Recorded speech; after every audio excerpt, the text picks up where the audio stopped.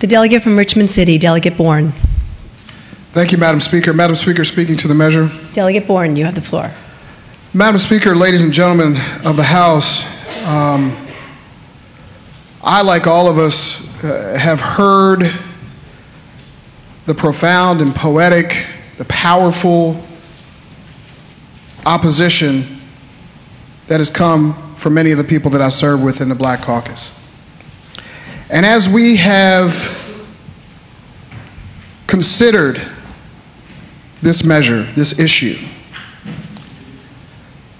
we've heard about all the flaws, all the problems, all the shortcomings with SJ 18. And so as the session has gone on, I've said to myself, how did we get here? Many of my, most of, all of my colleagues are generally reasonable people. They're smart, they're good. They had to, they, they had to be because they got here. We just don't get to the General Assembly by happenstance. And as I began to think how we got here, a word, a very instructive word came to me gaslighting. For those of you that don't know what gaslighting is, gaslighting is a tactic in which a person or an entity, in order to gain more power, makes us question our reality. And you might say, well, how does that happen? We hear that it's nonpartisan or, or nonpartisan independent redistricting. Well, I think clearly the text of the amendment says it's not. We have legislators on there. There's no consideration for, for black people or communities of color. Two people can thwart the whole process. But you ask folks about this, they, de- they deny they ever say these things, even though you've got proof. How else do we get gaslighted? Well, the people who are doing the gaslighting, they use the things that are nearest and dearest to you as ammunition. So, Madam Speaker, ladies and gentlemen of the House, I would suggest that when we pass this the first time, when this deal was concocted, might I add, and if I'm wrong, I'm sure somebody will correct me. There was not one person of color in the group that concocted this. There was not one woman in the room. And for those who are advocating this to expect us to believe that you have all Virginians in your heart and your mind and in this flawed amendment, miss me with that. But you know what? You know what a good gaslighter does? They wear you down over time. And we have been worn down. Here's the interesting thing. And here is what I believe is at the crux of our concern and our opposition to this. We have heard over and over again we're going to we're going to address communities of color. We're going to address this. We're going to address that through this or that, and this is how trust us. But you know what? You know what the members of the Black Caucus know?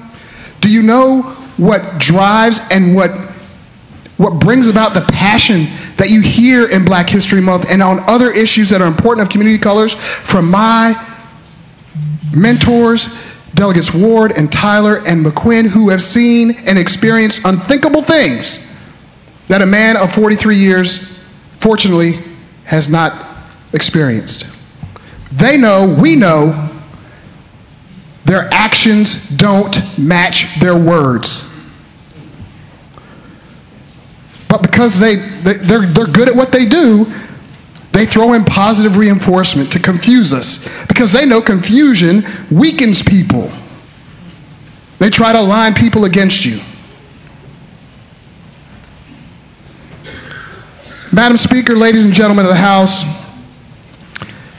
one of the things that I agree with Delegate Miara is when he said being a dad is more important than anything we'll do here. And I could not agree more. And Madam Speaker, there is one instance where I have absolutely felt bad about not being here. And that's when we took the vote on this the first time. But because I agree with Delegate Miares, I was with my daughter at a daddy daughter dance. And I know that not only was that the right thing to do, but opposing this amendment is the right thing to do. I'm always going to be able to look her in the eye and say that. But over the last year, despite whatever, whatever season it was, I have felt condensation on my intelligence. Madam Speaker, ladies and gentlemen of the House, it wasn't rain. So, Madam Speaker, as we are very shortly past the 55th anniversary of Bloody Sunday, where our forebears were bruised, they were bloodied, they were beaten, all for fighting for what they knew was right. And that's what we're doing here today. That's why enshrining the ability of people of color, black people, in our ability to draw the districts is so critically important because our 400 year history is replete with our voices being silenced, not heard, or just outright ignored. That's what's driving us. And so, Madam Speaker, if this speech, if my votes over the last hour cause me not to be back here, then so be it. Because I will walk for the rest of my life with my head held high, knowing that I did the right thing. So, Madam Speaker, ladies and gentlemen of the House, let's acknowledge and appreciate what's gone on and what we are about to do.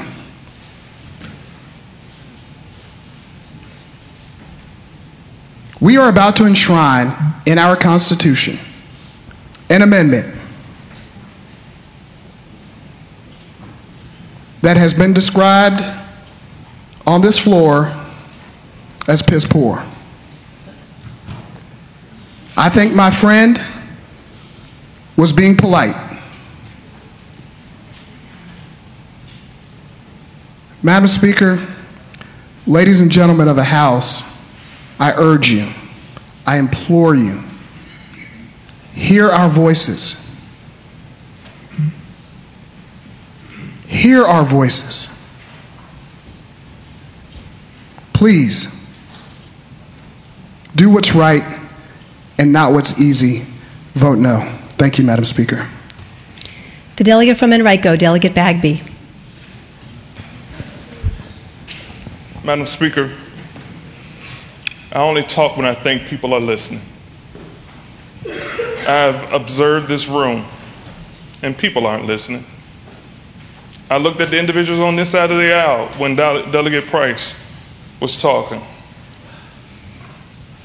And those individuals that voted with the Republicans were on their phones.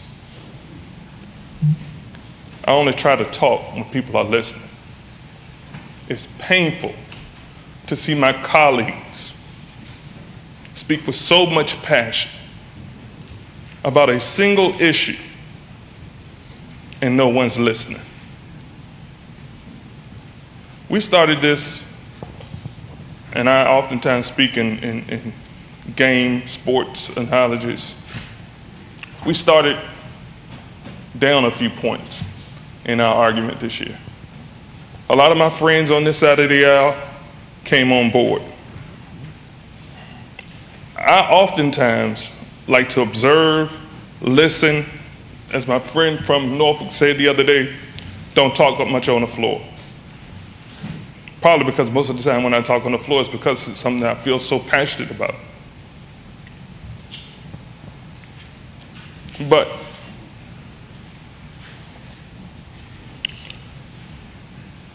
my friend from Henrico, my colleague from Henrico, mentioned why he ran.